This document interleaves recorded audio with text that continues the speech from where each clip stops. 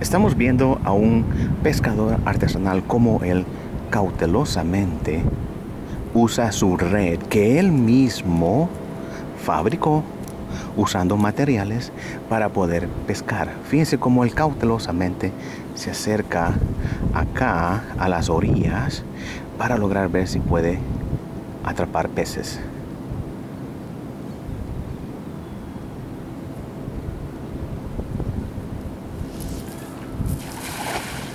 Vamos a ver si sacó algo. El señor se llama Max Mota y básicamente Max Moto, ¿verdad? Moto. Max Moto y básicamente él está acá. Sí atrapó algo. Mire lo que él atrapó.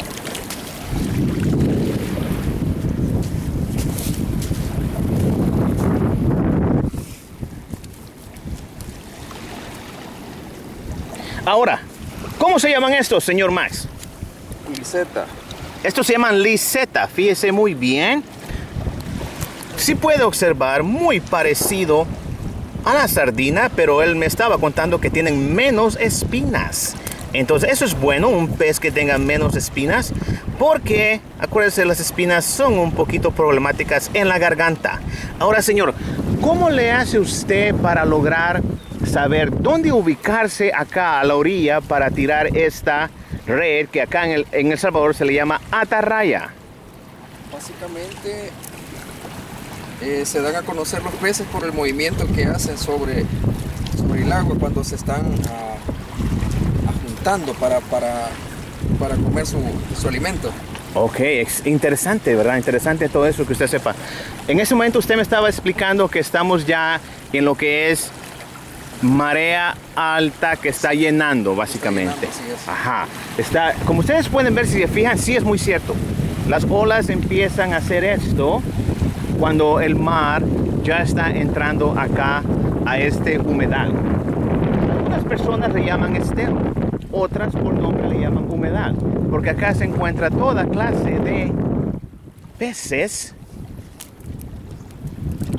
moluscos, y como pueden ver allá al final tenemos manglares. Mucha variedad de aves. Y somos muy afortunados que en este momento nos encontramos con el señor Moto para lograr observar cómo es la pesca artesanal. Si se fijan acá, él tiene muchos de los peces que acaba de atrapar. Incluyendo ese boca colorada que le llaman acá, de nombre. Así es la pesca artesanal acá para las personas que viven y dependen de ella en las costas salvadoreñas. También hay pues lo que se llama pesca de deporte, pero eso ya es algo más, ¿verdad? Complicado por la razón que necesita eh, lanchas con potencia, motores con mucha potencia y aparte de eso van muy adentro a lo que se llaman ah, kilómetros o millas náuticas dentro del mar. Vamos a observar una vez más.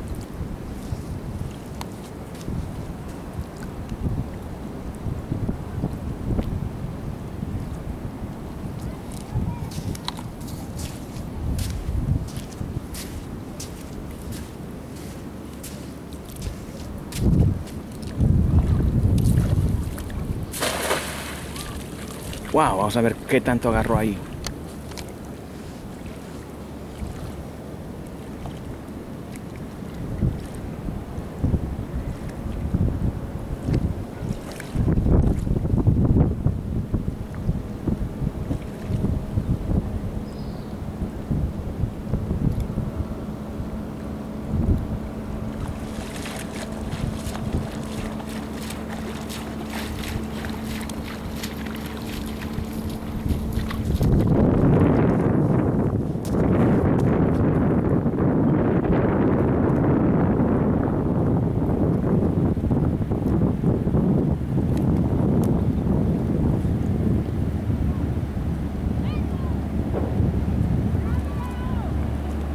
Ok, ya me están llamando, don. Nos vemos entonces, se cuida. Muchas gracias, oye. Solo una pregunta. Sí, pregunte. Este, no le han dicho, no sé si ha entrevistado a alguien más, tenemos un un hábitat protegido, es una reserva natural, un canal de área protegida por el medio ambiente, donde se puede hacer el avistamiento de cocodrilos. Sí, sabe que a eso nos dirigimos ahorita, aunque no lo crea, por eso me están llamando allá porque estamos esperando a unos parientes.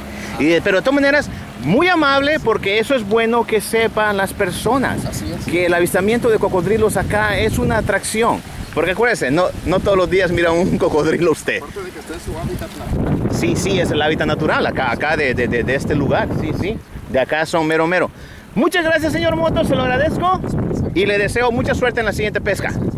Gracias, gracias. Entonces, como pueden ver, Ah sí, él tiene mucha razón por la razón de que nos dirigimos a eso, a mirar a esos increíbles animales. Y acá concluimos esto. Se cuidan todos.